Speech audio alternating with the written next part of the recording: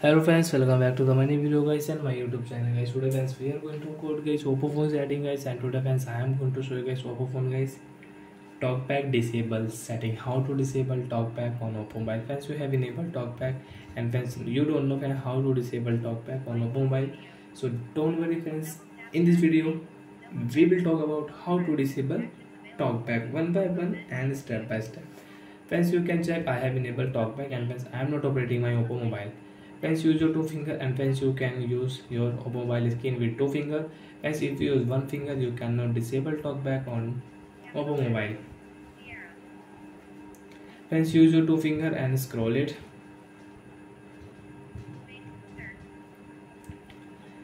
Friends one click here phone setting and double tap here.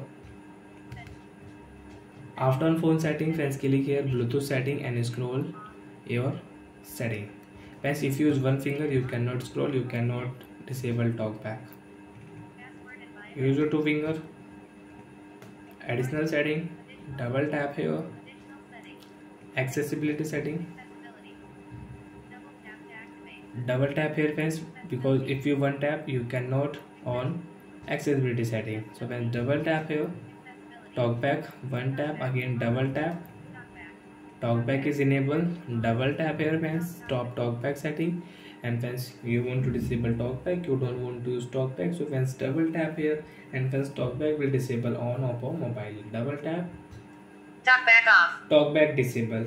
And friends come back. Friends now you can use your phone with one finger. So like that friends we can disable talkback on oppo mobile so i hope friends you understood how to disable talkback on oppo mobile so bye friends. Thanks for watching the video. Friends now do you have any doubts? So you can ask me in comment section. I will check. I will help you. Bye friends